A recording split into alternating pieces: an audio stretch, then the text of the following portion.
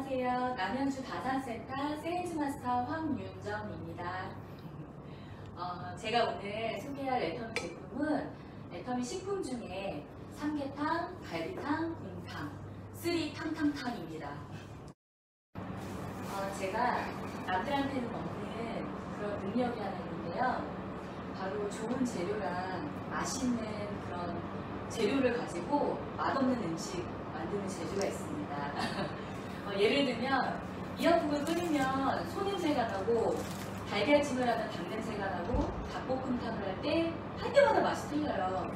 그렇기 때문에 애터미에서 이런 즉석 조리 식품이 나왔다고 했을 때 가장 좋아했던 소비자 중에 한 사람입니다.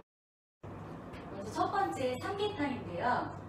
저희 애터미 삼계탕이 출시될 때 제가 몇 주 전에 사놓은 파사 제품이 있었어요. 그래서 이제 택배가 오자마자 저희 가족들을 대상으로 블라인드 테스트를 했습니다. 어, 이렇게 따로따로 끓여서 똑같은 접시에 담고 어떤 게 더 맛있는지 알려달라고 부탁을 했어요. 그래서 이제 저희 남편 같은 경우는 어, 간단히 설명을 드리면 시어머님이 굉장히 음식을 잘하시기 때문에 입맛이 좀 까다롭고 좀 미각이 좀 발달되어 있다고 해야 되나? 네, 그런 사람이고 저희 딸은 어려요. 어린이. 뭐 7, 8살 그때니까 어린이 입맛이고 뭐 골고루 잘 먹지만 그리고 세 번째 아들은 어, 입도 짧고 편식도 좀 하는 편이에요. 그래서 제각기 틀리기 때문에 이 세 사람을 대상으로 제가 네, 물어봤습니다. 어, 그래서 남편하고 딸은 저희 애터미 제품을 먹어보자마자 바로 선택을 했고요. 그리고 저희 아들은 타사 제품을 선택했습니다. 어, 그래서 제가 저희 아들한테 물어봤어요.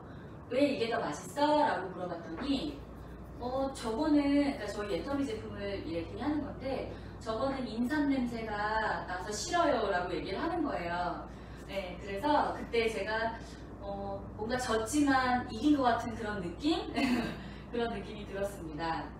어, 왜냐하면 저희 애터미 삼계탕은 배를 이렇게 그 닭의 배를 갈라보면 보통 거기에 찹쌀이 들어있잖아요.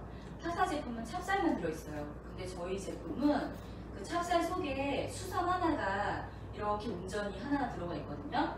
그래서 밖에 이렇게 뒤에 설명해 보시면 그 수삼, 그 삼이 들어간 퍼센테이지 자체가 비교가 안 돼요.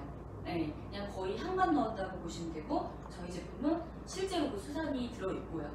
그래서 나중에 그 제품을 뜯어서 보여드릴 건데 그때 한번 다시 확인해 보시고요. 이렇게 뒤 돌아보면은 그 안에 재료들이 나오잖아요. 근데 저희가 모르는 그런 뭐 합, 합성 조미료 이런 것들이 전혀 들어가 있지 않아요. 특히나 애터미 식품군은 어, 안전하고 엄선된 재료와 철저하고 꼼꼼한 그런 공정 과정을 거쳐서 나오기 때문에 안전성이라던가 이런 부분을 믿고 먹을 수 있는데요.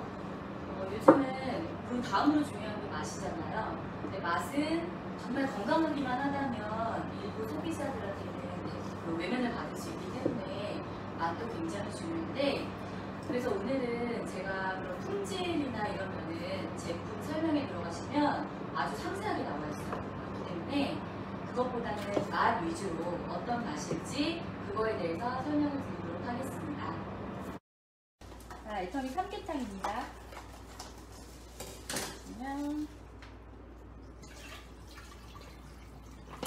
지금 닭하고 여기는 안 보이는데 배를 가르면 찹쌀과 수삼과 이런 게 들어있어요. 네, 그리고 간이 되어 있고 보시면 보통 혼자 먹는 연계거든요. 여기 안에 보시면 이렇게 찹쌀과 제가 아까 말씀드린 이런 수삼이 이렇게 하나가 들어있습니다. 근데 다른 제품은 없어요. 그리고 보시면 이렇게 그래서 간편하게 끓이시면 되고요. 그리고 저희 같은 경우는 아이들이 있어서 이 애터미 삼계탕에 뼈를 애들이 좀 잘 못 발리거든요. 근데 푹 삶아져 있어서 그럼 이렇게 고기를 찢어서 끓이다가 저희 애터미 누룽지가 있어요. 그 누룽지를 한 봉 넣어서 같이 끓이면 맛있는 어, 삼계죽이 되거든요. 초간단. 아까 누룽지를 초반에 넣었는데 이렇게 끓기 시작한 다음에 넣으셔도 되고요. 저희 같은 경우 좀 아예 퍼진 걸 좋아하기 때문에 지금 보시면 덩어리가 있잖아요. 근데 이거 다 퍼지면 그때 드시면 됩니다. 두 번째는 레터미 갈비탕인데요. 어, 그냥 크게 갈비탕의 특징은 왜 타사에도 이런 제품들이 많이 나와 있어요. 근데 그 제품들하고 비교했을 때 고기 양이 많고 그리고 왜 일부 제품에는 이렇게 찢어놓은 사태살은 들어있지 않은데 저희는 그런 부분, 고기 찢어놓은 부분도 있고 일단은 양이 좀 많습니다. 그리고 어, 국물을 낼 때 합성 조미료가 아니라 미더덕하고 감초로 감칠맛을 냈기 때문에 또 깔끔하고 아이들 주기에도 너무 편해요. 어, 갈비탕도 지금 뜯어서 한번 보여드리도록 하겠습니다. 다음은 갈비탕입니다. 보시면 이 갈비탕 자체가 기름이 좀 있어요.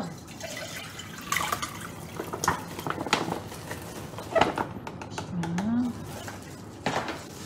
그리고 아까 제가 말씀드린 찢어놓은 사태 그리고 뼈가 들어있고 보시면 무나 파도 있습니다. 근데 기호에 따라서 뭐 고명을 얹으신다던가 아니면은 음, 파를 더 썰어 넣어서 드시면 될 것 같아요. 간은 정말 잘 맞아요. 세 번째로 애터미 곰탕입니다. 어, 곰탕 같은 경우는 따로 간이 되어 있지 않기 때문에 어, 이 자체로 아침에 뭐 파만 송송 썰어서 이렇게 소금 간해서 국물에 밥 말아 먹기도 좋지만 뭐 떡국을 끓일 때나 뭐 어, 그 부대찌개 같은 거 다른 요리의 베이스로도 활용이 가능하고요.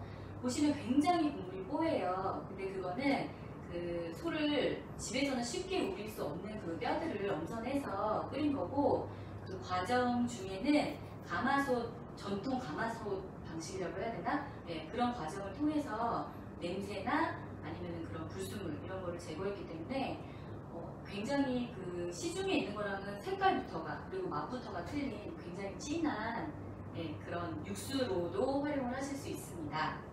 그래서 이것도 한번 보여드리겠습니다. 자, 애터미 곰탕입니다.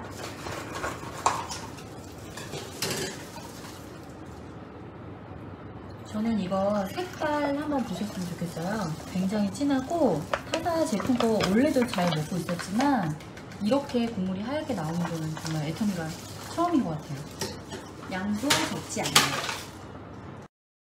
네, 지금까지 애터미 세 가지 탕탕탕을 소개해드렸는데요. 아직 안 드셔보셨으면 꼭 드셔보시고 어, 요즘 간편 요리가 대세잖아요. 그래서 간편하면서도 그리고 맛하고 영양까지 다 챙길 수 있는 애터미 식품으로 한번 여러분들도 더운 여름 나시길 바라겠습니다. 감사합니다.